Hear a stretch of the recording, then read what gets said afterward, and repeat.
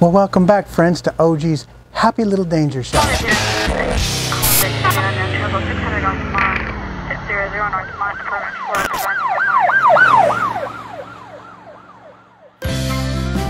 So I've had a lot of questions from the last video on the simple rifle about how to recreate the paint job on that rifle. Sort of my own custom camouflage look. Some people called it a snake. You can call it whatever you want, a dragon, a snake, whatever you like.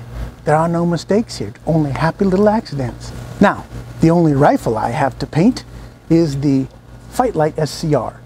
It happens to be the only rifle that I own that is part original color. I've been meaning to paint this rifle for a long time, so I thank you for asking me to paint it here on our show. Let's get to it. Now the first thing I want to do is take off all of the extra things like slings, bands. We don't need those things on there when we're painting our rifle. So I want to remove all of those things and get them off of the rifle and tape up all of the areas that need to be taped up to prevent paint getting in areas where we don't want it.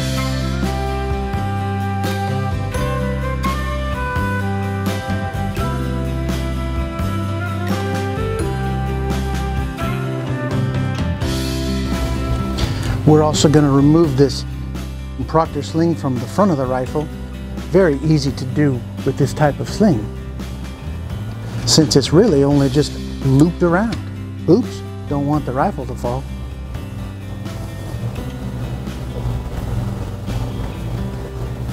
So we pull up through this sling in the little loop and just as simple as that, the sling is now free from our rifle and we can take it off. How about that? We also want to remove things like lights and rail covers.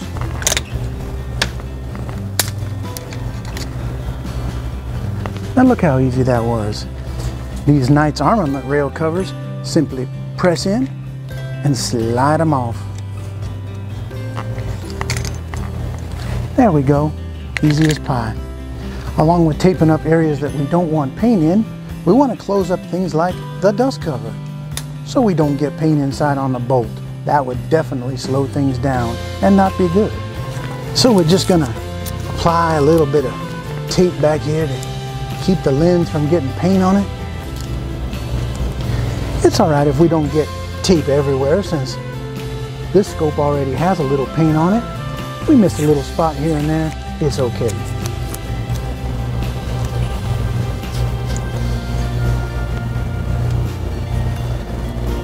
There we go, all taped up.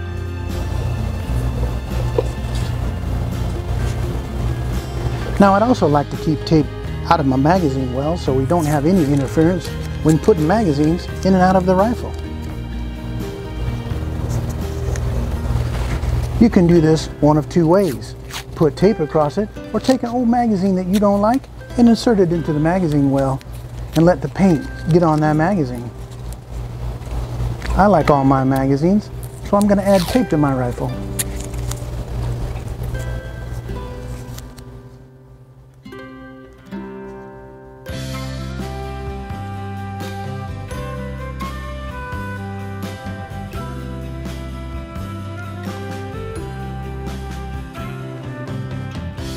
I also don't necessarily want tape on the trigger of my rifle, so I'm going to go ahead and wrap that trigger in a little bit of tape. Just a little smidge of tape. Keep that old nasty paint off of it. There we go. Happy little tape. Now I don't necessarily want to get paint over the power numbers on my primary arms ACSS LPVO scope. So what I'm going to do is just put a little tape right over those numbers just so that when we're all done, I can read them.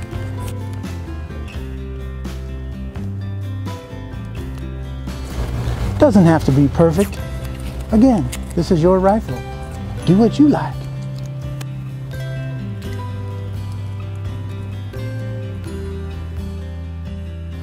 I also would like to keep the scope covers on my rifle clean and without paint since they have markings on them.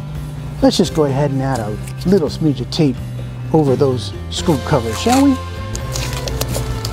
Doesn't have to be pretty. Just a little bit of tape.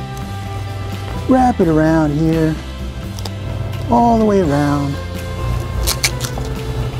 I'm gonna tape over the lens of the scope so I don't get any paint inside of there. That would be catastrophic. The front end of the scope already has a lens cover on it, so we'll just keep that closed and paint it like it is. Let's just add a little bit of masking tape around this dial and its cover. Wrap it around, overlap it a little bit, and then we'll close it up on this side so we don't get any paint on that cover. Look at that. We covered that up like a Benghazi scandal. I think we've taped up the scope and the trigger real nice, along with the magazine well. Now, it's time to prep the rifle. Some time ago, I added Loctite to these little screws because I knew this was the scope that was going to stay on this rifle. So I'm not going to dick with those. Instead, I'm just going to tape off that rear sight a little bit so that it remains black and easier to see.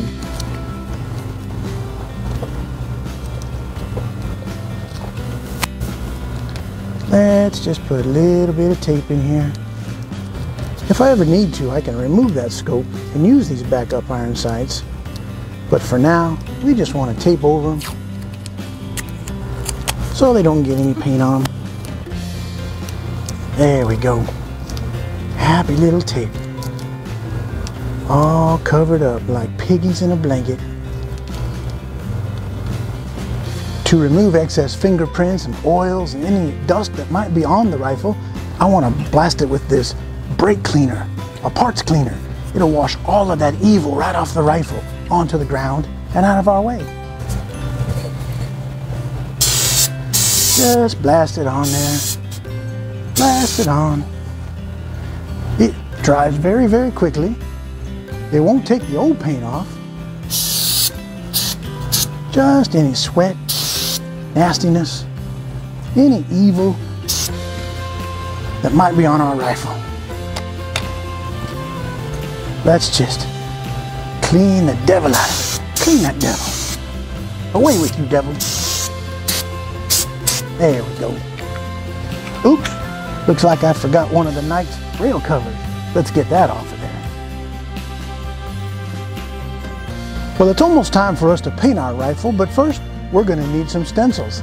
Come along with me and let's make some happy little stencils. Now for this part of the project, we're just going to take any kind of material you like. You can use masking tape if you like to mask off your different shapes, but I can also use a piece of art paper thin cardboard. I can use this cheap, flimsy little folder I found down at Walmart for about 97 cents. And of course, you're going to need some scissors. I had to steal these from Mrs. OG's utensils drawer because Mrs. OG and the OG daughters steal all my scissors and evidently sell them to the gypsies because there are no scissors in my house. I want to take this folder and I want to just give it a random cut. Just a random wavy cut. Maybe it's some hills or some boobies you're envisioning. Some type of wavy shape. Just waves, waves on the ocean. There's a nice shape. Now we also have the negative of that shape. We can use both of these. So don't throw it away. Here are my two favorite paints. First, Aervoe brand. Aervoe is the actual military brand paint, but this comes in a civilian style can. I like this because it's flat and true to military colors. I also will use from time to time your standard camo paint available at your Walmart as long as you're over 18 years old and they will let you inside the paint cage. Now for this project I'm going to reverse the colors of what I normally do on my rifles. I normally start off with a base layer of a sand color, a light almost like a flat dark earth, but a little bit lighter. I paint the entire rifle with sand color first and let that dry. Today I'm going to apply a good coat of OD green first, and then we'll put on some sand colored stripes afterwards. Come on, let's do it. Just want to give it a light coat. Just a little dusting. Little dusting here and there. I've decided I don't want to paint up my tripod, so I'm going to place this folder underneath the rifle while we paint the base color. Working smarter, not harder. Let's go ahead with our OD green. Let's paint out that evil, evil black. Get rid of that black rifle color. We got to get rid of the black rifles because they're evil and they automatically go and shoot a schoolyard full of children all by themselves.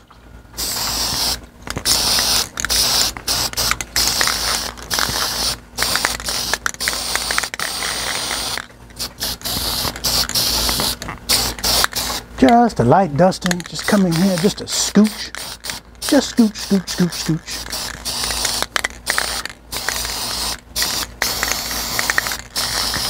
Just a very light dusting so that it dries nice. We definitely don't want to paint so thick that it starts dripping down our rifle. That's too wet, said no one ever.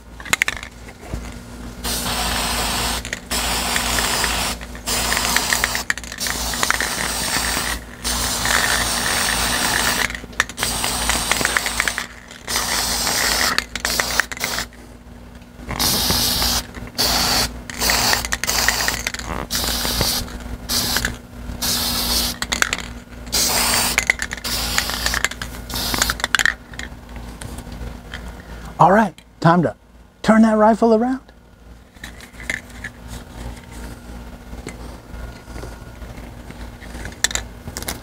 Hey, will you look at that? There's another side. There's another side to every story. Let's just move that little protective cover over here a little bit. Set that rifle on that little platform again. Let it balance there like a little egg. We're gonna come in and we're gonna dust out all of that old paint job. That old nasty, nasty paint job. Didn't go together and didn't look right anyway. Just come in here and dust it in a little bit. Just a really light coat. Listen to that jingle jingle. Must be my can's almost empty. Don't forget the top side of your rifle either.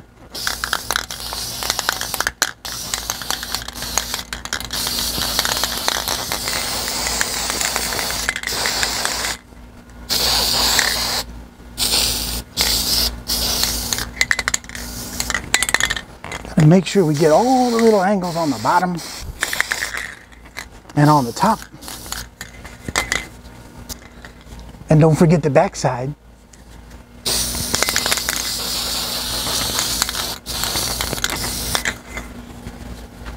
Well, uh, I ran out of paint on that first can, but fortunately I have a second can ready to go.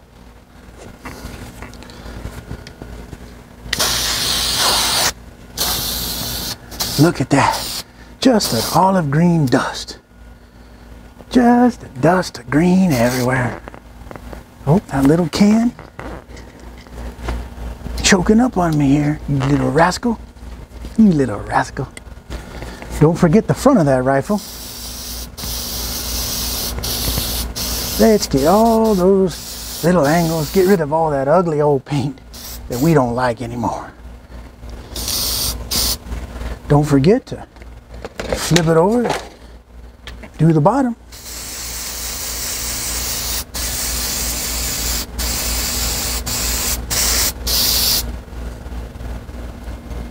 So it appears we have now painted our rifle a pretty solid OD green. It's time to get those accessories. Don't forget those. So we've got all of our rail covers laid out here on Mrs. OG's flower planter with some papers down below it to make sure that we don't get her flowers a different kind of green. Let's go ahead and give them a light coat. Just a little dusting. Olive green. Green like an olive.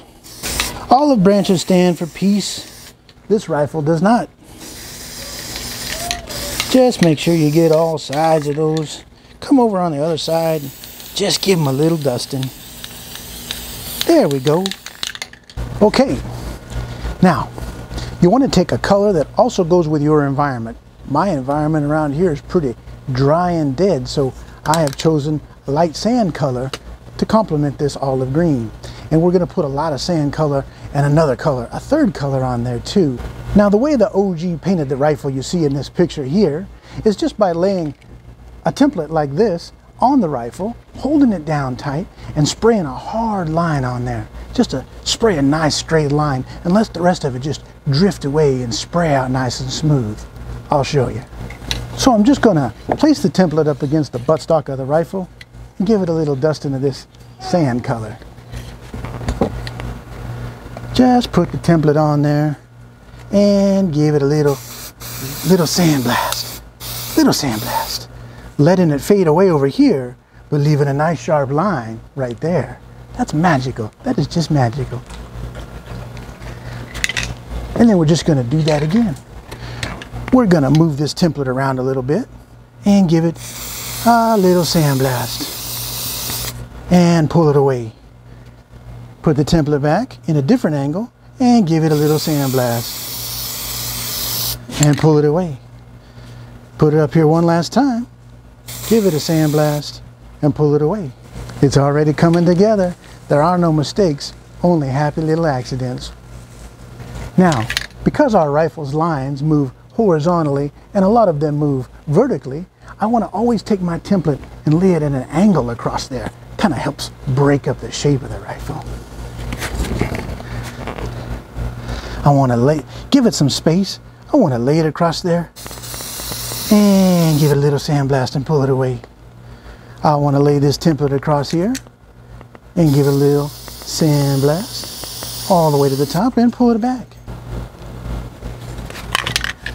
So even though we have rails here and some odd shapes, I can still put this template right over the top of those rails and give it a little sandblast. And what do we do? We pull it away. Sandblast, pull it away. Don't forget your barrel. You can't leave that all dark by itself. Sandblast, pull it away. Sandblast, pull it away. Maybe a little bit on the top. Sandblast, pull it away. Well, that does it for the first side. Let's flip it around and do the other side the same way. Keeping in mind, we're gonna keep our pattern kind of oriented the same direction. That's just good craftsmanship. Let's just spin it around. Hopefully we don't use or hit the rifle into the house. Look at that. We've got an olive drab green rifle waiting for us to give it a little sandblast and pull it away. Now our pattern on the other side of the rifle was at an angle like this. So we're going to duplicate that angle one more time with this template. Keep in mind, move the template up and down to get different pieces of that curvy edge on your rifle. Sandblast, pull it away. Sandblast, pull it away. There we go. Just a little dusting of sand. Kind of like a, some people have said it sort of looks like a snake skin. I don't know why, because I've never seen a snake that looks like that. Sandblast, pull it away. The thing that makes this pattern look nice when the rifle is completed is the sharp line contrasting with the faded line. So try and get yourself a nice sharp line and a faded line. Move the pattern down, give another sandblast, move your template around, another sandblast. Don't forget to do tops and bottoms. Sandblast. Pull it out. Just a little dusting every now and again. Just a little scooch here and there.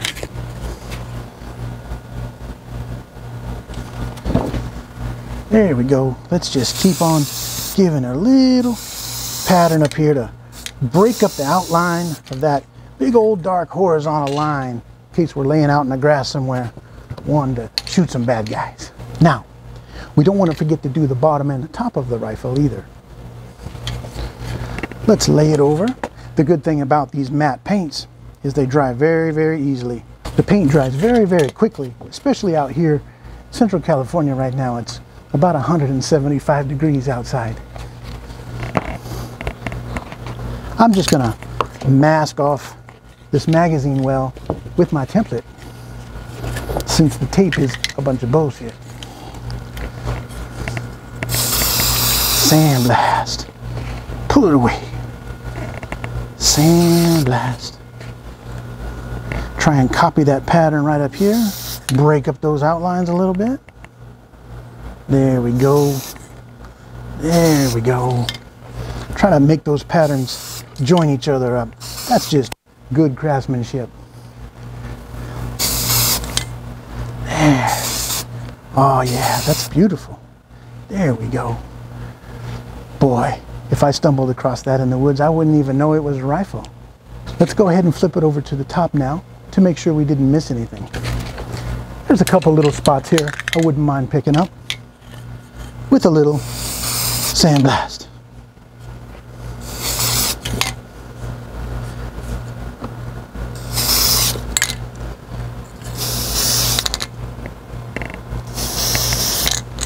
Now we don't want to forget these lovely little rail covers. They don't have to match up with the pattern that we already have on the rifle. So let's just lay the template across them and give them a little blast of the sand color. Try not to get paint on Mrs. OG's flowers.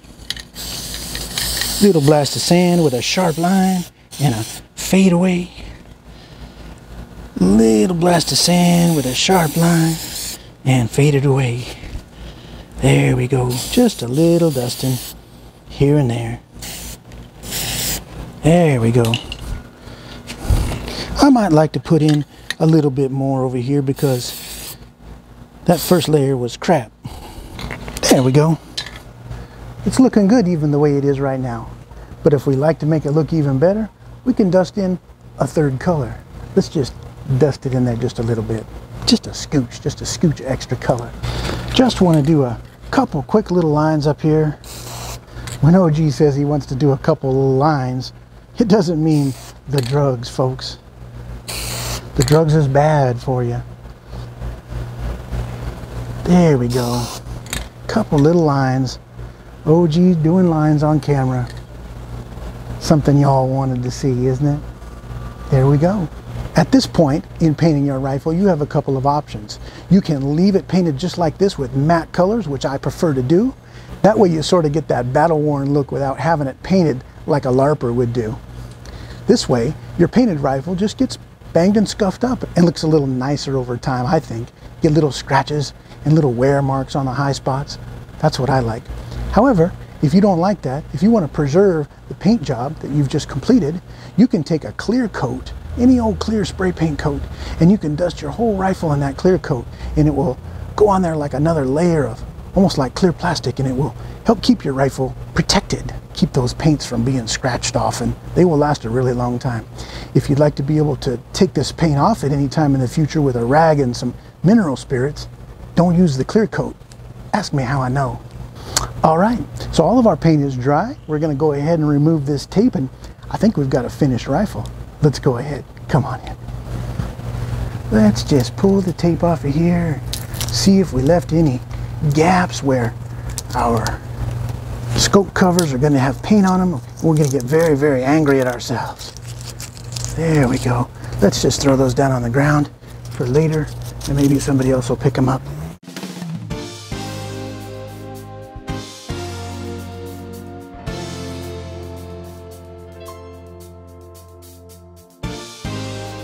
Let's pull the tape off of our trigger.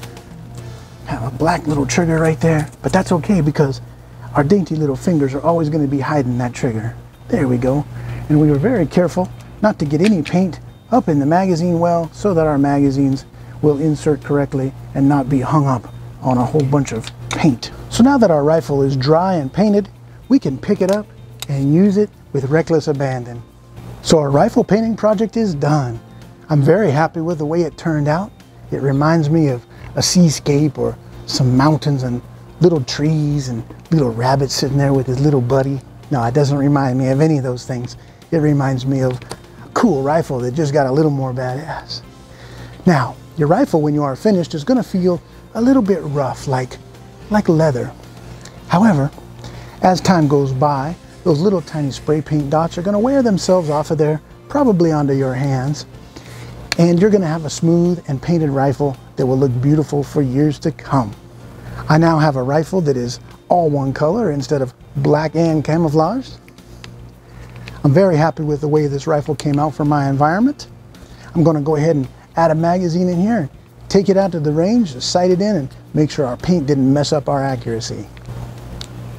I'm gonna go wash this ridiculous stuff off my face before I go to work tomorrow with a stained beard on my face. Folks, I thank you for watching this unusual edition of OG's Danger Show, in where we had no danger whatsoever.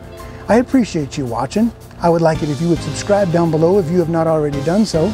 Give me a thumbs up. Tap the notification bell. And if you would be so kind, copy a link to this video and send it to 10,000 of your closest friends. You guys be safe out there. I will see you on the next video coming up soon. OG out.